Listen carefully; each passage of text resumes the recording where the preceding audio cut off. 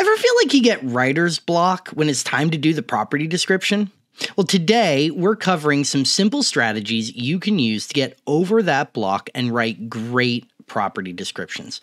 Plus, we're giving away a download of our brainstorming cheat sheet that you can use to perfectly position your listings. So stay tuned.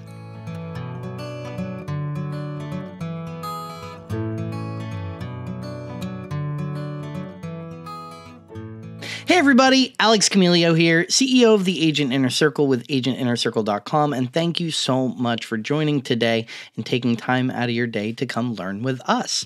So, as you heard, today we are talking about property descriptions. And the goal of any property description is to draw in the buyers that best fit the home, the folks that are going to uh, pay the most money for it, do it, do it in an expedient manner, um, truly the best fit and the perfect fit for that home. But all too often, I end up seeing property descriptions that end up looking like stat sheets.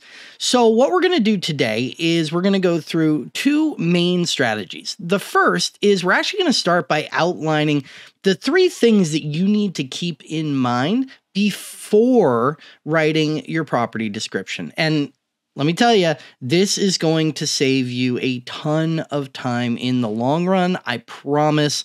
So, you absolutely want to do this step uh, no matter what.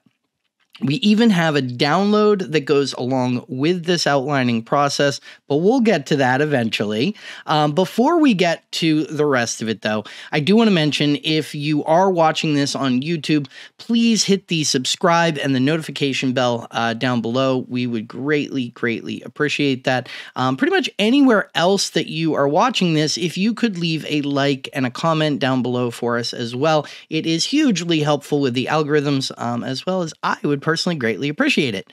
Uh, awesome. All right. So we've covered that. We've done our housekeeping. Let's get into it today. So, we talked about three considerations that you need to look into and prepare yourself for before writing the property descriptions. And these might seem pretty straightforward, but we're going to give you some tricks as to how to go about this and how to get the piece of information that you need. So, number one, before it comes time to writing your property description, I want you to actually write down the property's unique benefits. And I'm not just talking about the basics, you know, right? The location, the neighborhood, the, the basics like that. I'm talking about you should actually take some time and talk to your seller about what the unique benefits of the home are, what they loved about the home. Ask them, what are you going to miss about this place when you leave? Maybe it's the restaurant down the street. Maybe it's the the you know beautiful air and breeze that they get at certain times of the day. It's hard to tell what those unique benefits are without having that conversation. And the download that we're giving away uh, in the blog that goes with this article is actually going to help with this whole process of outlining everything. So make sure you head over and get that uh, after you watch the video. So number one is to talk to the homeowners and that download is going to help you with some of the questions that you can ask them and help with the brainstorming process of coming up with what that property's specific unique benefits are. And like I said, it's not just the the locale or the neighborhood or the schools or the the basics, the stuff you can research online. What we're looking for here are the standout unique things that the seller is going to tell you about why they enjoy the home. So that's step number 1 is getting that piece of information available to you and ready for when it's time to do the property description. The next thing is that we want to think about the wants and needs of the potential buyer.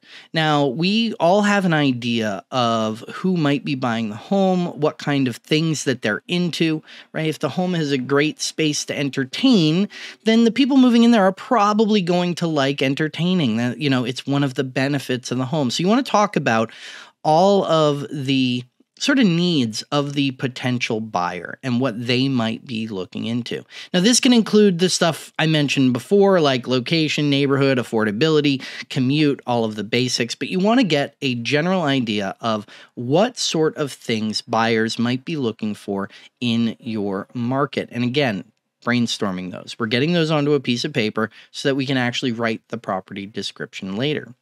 The third is using the right words.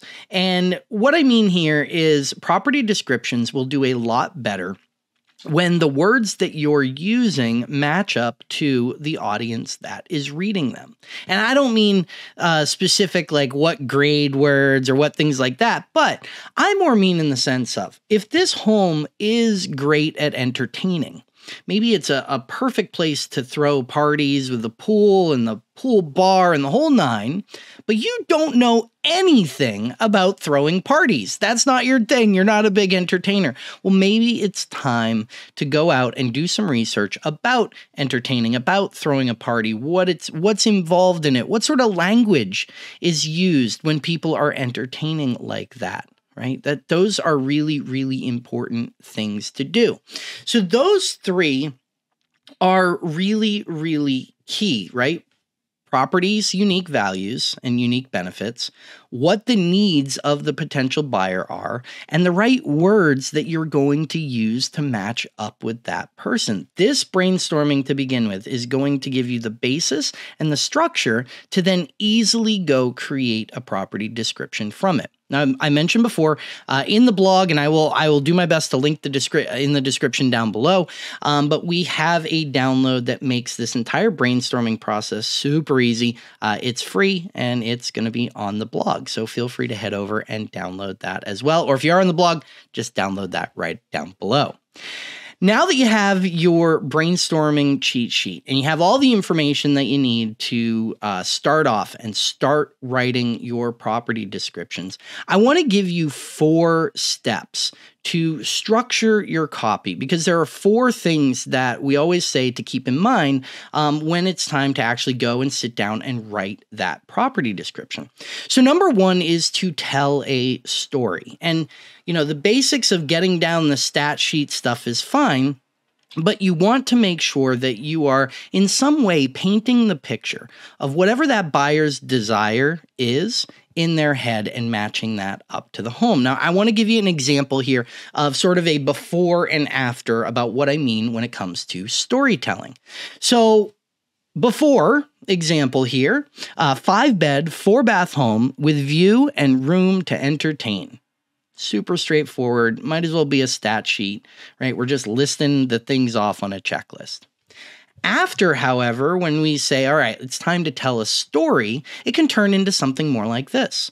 Spend evenings entertaining your friends over a city view in this five bed, four bath, right? Continues on. So now you've started a story. You've gotten to the point where people are uh, envisioning themselves in that position, matching up with those desires, those things that they want out of that home. And the better job that you can do to tell a story, the better job you're doing of making sure that the buyers are interacting with it and picturing themselves in that location to some level so that when they show up there, they're envisioning them. They've already envisioned themselves there. They've already put themselves in that home for whatever qualities match up to their perfect desires. So after you've told a story, now it's time to appeal to the senses. So beyond just somebody being able to put themselves in that home, right, and envision themselves in that home, we go a step further and we want to appeal specifically to the senses. Um, we talked about this actually last week uh, in a blog and in an article, um, in a video. But appealing to emotion and to the senses draws a stronger connection psychologically to whatever it is that you're reading.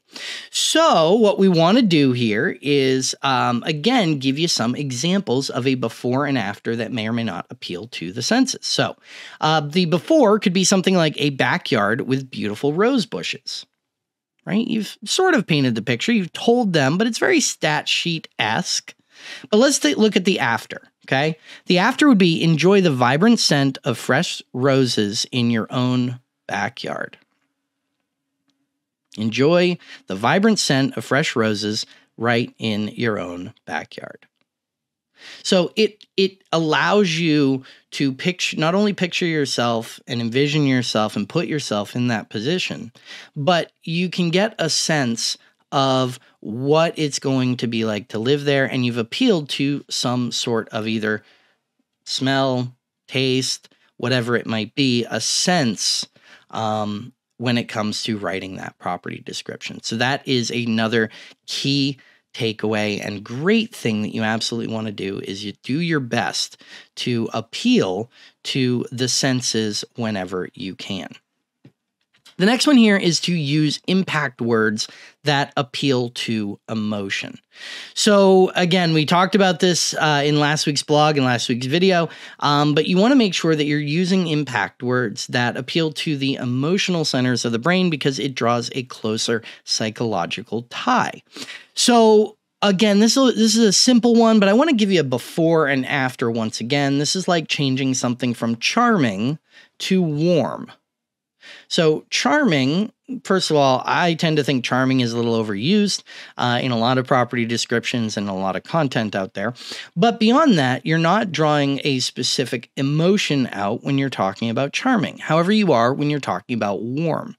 Right, warmth gives that um, very uh, essence or uh, feeling about you. You know what that is and what to expect from it. Uh, charming has a much wider variety and doesn't appeal to emotions in the same sense.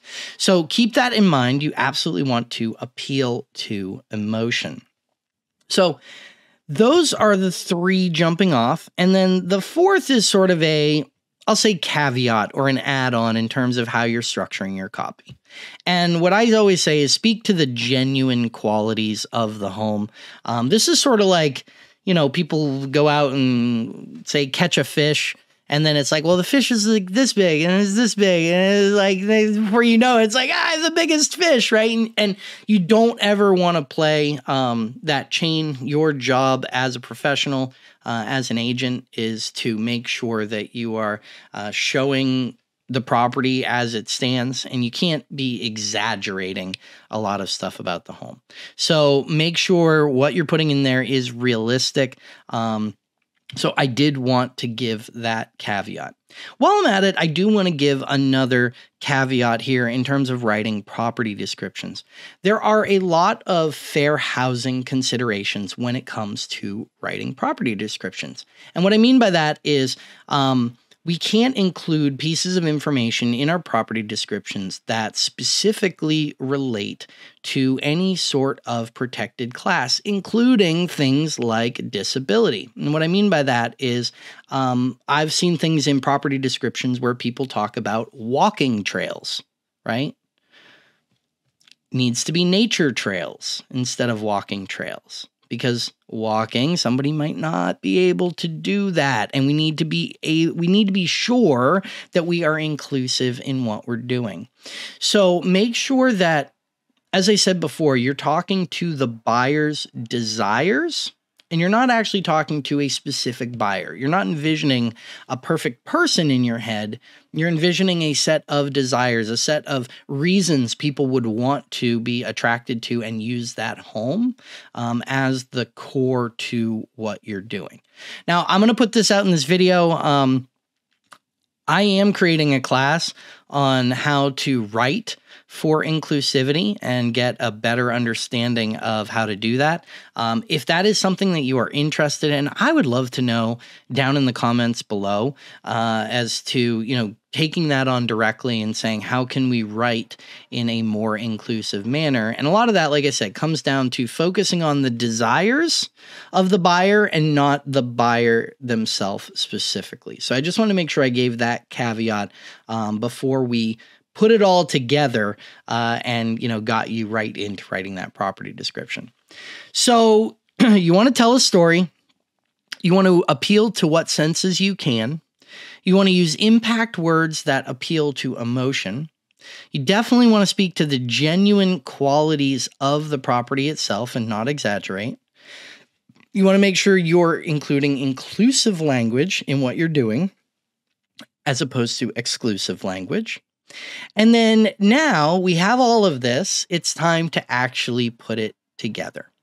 And I want to leave you on a piece of advice that we use a ton um, when it comes to this, which is that you want to write the long version first and then cut it down. Um, most MLSs are anywhere between 150 and 500 words uh, as to what their cap is for what you can write for a property description. The challenge that we see people run into, though, is they're trying to write it at once, where they write everything down, but they're trying to write everything down and keep it within that 150 or keep it within that 500. And then they get writer's block and stop. Oh, what do I do now? What you need to do is write as much as you want to right? It's just a page. Go on as long as you want to to keep it interesting and write your content and then come back and cut it down to the point that it's an actual property description that fits into the short form version um, that the MLSs display in various various locations. So that 150 to 500 words is really key because what you'll find is that when you write the long form version first, you'll be able to go back and say, well, the first sentence should be captivating whether it's in the short or the long form version. Okay, so let me take my first sentence and make sure that it works in both. And you got that covered. And then you take a step forward and say, well, what are the most valuable um, and enticing sentences I have from this long form version? And then break that down and actually put that into and cut it and edit it down into your sub 150 to 500 word version, depending on your MLS. So that is a really, really key strategy when it comes to writing great property descriptions and making sure that you don't get stuck trying to cram a bunch of information into this short form version. Because the reality is, you don't need to give them every piece of information in the description itself. Um, I think that's another thing that we see agents do a lot is they're like, oh, I need to cram every little piece into this short form description. What you need is to cram in enough information that it gets them to keep reading, to keep looking, to look at something else for the property. The short form description does not necessarily have to include every piece of detail, it needs to include the important details that get people to read more um, and to look up more and investigate more about that property um, that you're putting out online. Now, I want to leave you uh, with a positive note here because every agent has the opportunity to stand out with their property descriptions. And I think that's a really, really powerful thing.